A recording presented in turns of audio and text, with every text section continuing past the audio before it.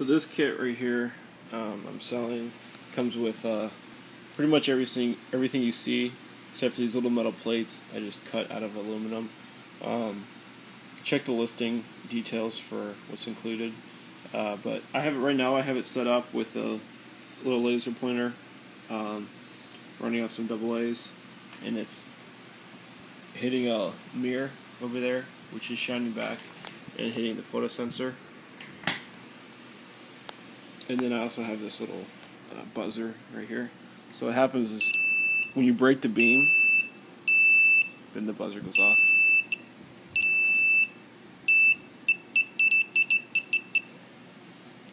Um, so you could bounce this off of as many mirrors as you want.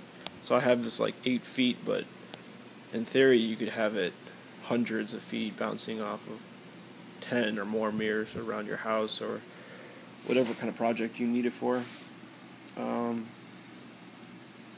check the listing for what's included. I'm going to have one kit where it comes pretty much like this. Um, so uh, email me with any questions, and uh, thanks for watching.